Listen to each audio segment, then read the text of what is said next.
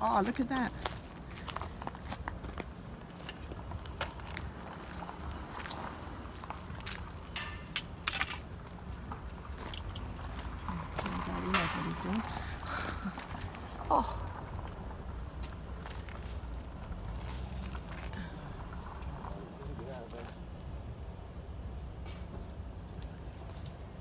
Oh, there it is.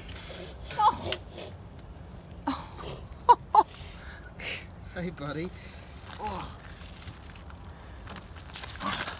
Oh my gosh. it's always a lot easier when it's a tree snake and not a brown snake. Yeah, I'm pleased.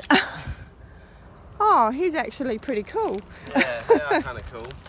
So, I mean, they are quite, it's pretty easy to get confused between that Yeah, and a brown yeah, snake. no, I brown can see it now. Um, yeah, that kind of yellow underbelly is Yeah. always a good sign. And then when they flare out and get a bit arced up, they have uh, bits of blue between their scales. Yes, I can see it. can see that.